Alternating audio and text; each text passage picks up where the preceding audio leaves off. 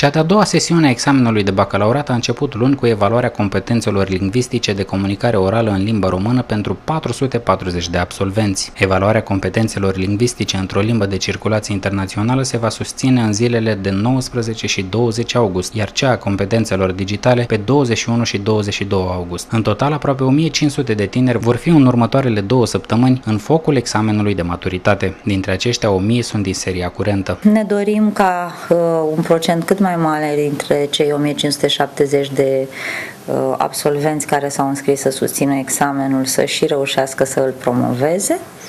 Uh, din aceștia 1570 de înscriși, 1000 sunt din seria curentă.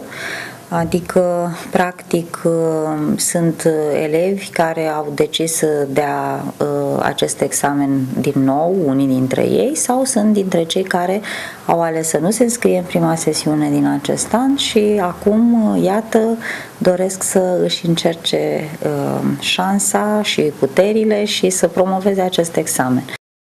Este important de menționat că cei care nu au promovat bacalaureatul în sesiunile anterioare vor susține examenul doar la proba la care nu au reușit să promoveze. Probele scrise vor începe pe 25 august cu limba și literatura română, pe 26 august va avea loc proba la limba și literatura maternă. Proba obligatorie a profilului va avea loc în 27 august, iar cea la alegerea profilului și specializării pe 29 august. Afișarea rezultatelor la cea de-a doua sesiune a bacalaureatului 2014 va avea loc pe 1 septembrie până la ora 12, iar depunerea contestațiilor se va putea face în aceeași zi, în intervalul orar 12-16. Contestațiile vor fi rezolvate în zilele de 2 și 3 septembrie, iar rezultatele finale vor fi afișate pe 4 septembrie. La nivel național, peste 63.000 de absolvenți de liceu susțin bacalaureatul în această toamnă.